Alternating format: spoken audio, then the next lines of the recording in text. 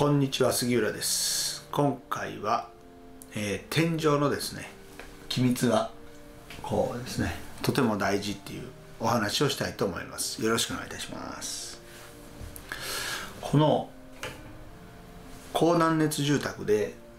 この天井のですね機密がとても大切なんですけどもそれがなぜかっていうことについてお話ししていこうと思います。これなぜかというと家の中の空気が温められると当然空気が軽くなってですね上の方へ上の方へ上がっていくんですね。温まった空気が。それはまあこういった屋根断熱でも天井断熱でもまあ当然同じなんですけども。ということは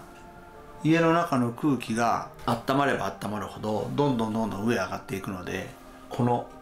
天井付近のですね気圧が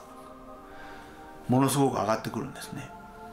まああの気球なんか考えてもらったら分かると思うんですけども空気を温めることでああいう浮力が働いてですねあんだけのものがボーッと飛んでてしまうんで空気がですね膨張してこう上へ上がっていく力って実はものすごくてだからこの天井のですね機密をちゃんとできてないとその膨張した空気がですねずっと上がっていくとまあいろんなとこからもし抜けてるとすると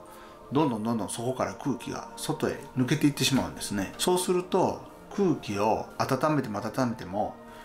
どんどんどんどん抜けていってしまって今度はその抜けた空気を他の隙間から家の中へ取り込んでこようとするわけですね。そうすると、まあ、冬場なんかどういうことが起こるかっていうと冬場は外の冷たい空気を換気で入れ替えてその冷たい空気をエアコンや、まあ、まあ何かで暖房機器でですね温めることによって空気が軽くなってどんどんどんどん上に上がっていく。で上がっていってここで機密がちゃんと取れてないと上どんどんどんどん抜けていくもんですから今度はその上じゃなくて下の方のですね隙間からどんどんどんどん外の冷たい空気が入ってくるということが起こってしまうんですね。そうすると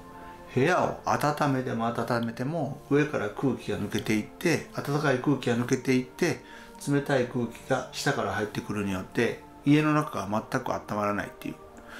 もうそれこそ暖房器具の周りでしか周りのですね輻射熱でしか温まれないっていうそういう家になってしまうんですね。ですから天井の機密っていうのはものすごく大切でここがきちっと機密が取れてないとそういう寒い家になってしまいます。まあですから機密測定をする意味っていうのはそこにあってまあ家全体の機密がまあ C 値1以下になるようにしましょうねっていうのはそういうとこから来てます。でまあ全体で1以下に、えー C 値がですね1以下になってたらまあそこまで空気の入れ替えっていうのは起こらないだろうっていうことで。でまあ基準がですね C 値を1以下にしましょうねっていう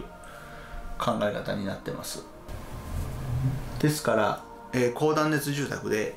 機密を取る場合は、まあ、特にですね天井をしっかり機密を取りましょうねっていうことを知っていただけたらなと思います。ちなみにですね今まあ大体部屋の中が20度ぐらいなんですけども、え20度の状態でですねこういうペットボトルがですねこういう普通のまあへこんでもない状態なんですけどもこれを冷蔵庫で冷やすとまあ大体5度ぐらいになってくるんですね。で5度ぐらいに冷やすと中の空気が冷たくなってあのまあこうこれがペットボトルがですね圧縮されてこんな形になっちゃったりするんですよね。これでどういうことかっていうと例えば家の外の5度の空気を家の中に取り込んで20度に温めるとここまでこう普通の状態にですね戻ってしまいますよっていうことなんですね。っていうことは家の外のですね5度の空気を家の中へ入れて20度に温めるとまあこのペットボトルが、まあ、へこんだ状態から元の状態に戻ったぐらいまで膨張するっていうことなもんですからこの家の中の特に天井の方なんかは、まあ、すごい、まあ、ここも含めてですねこっちは天井断熱なんですけども天井断熱の場合も屋根断熱の場合もそれだけこう気圧が上がるっていうことなんですよね。ですから、まあ、天井のこの気密は特に大切ですよって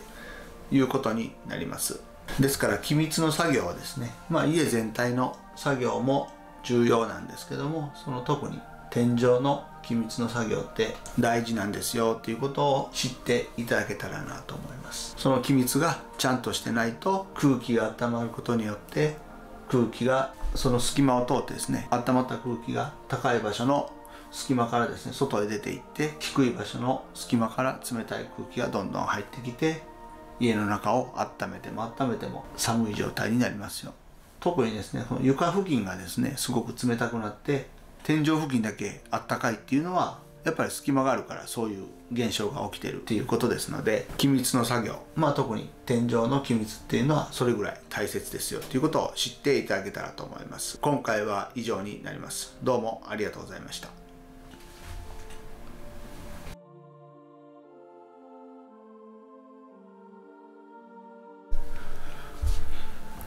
こんな感じで冷やすとですねこんだけへこんでしまうんですね。ていうことは20度から5度になるとこれぐらいへこんでしまうので逆に言うと5度の空気が20度になるとその逆の分ですね普通の状態になるぐらいまで空気が膨らむっていうことなのでその空気が膨らむことでですね天井にすごくこう圧力を加えるっていうことになります。